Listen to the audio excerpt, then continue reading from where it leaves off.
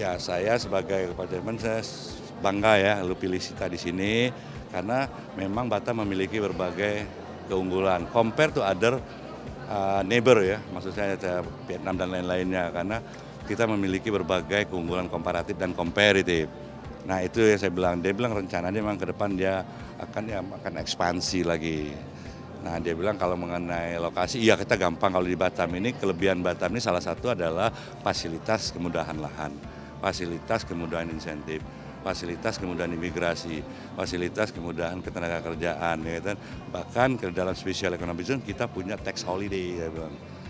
Itu yang saya sampaikan dia ya ya mudah-mudahan ya kita bisa jaga nyaman berusaha. Kan pada selalu saya bilang, yang paling penting bagi kami, Pak Ya, Pak Rudi, Pak Broto, lain itu adalah menjaga investasi yang sudah ada.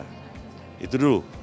Yang kedua adalah yang baru masuk ini ya harus kita berikan keyakinan kenyamanan kita sehingga dia bisa betah dan berkembang. This is the yes, this is the first factory of Pegatrons Group in Southeast Asia.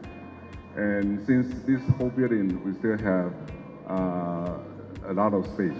So we'll continue to the expansion in this location. And I think in the next year or two, we will see how well the uh, development is to decide uh, our next step uh, to expand.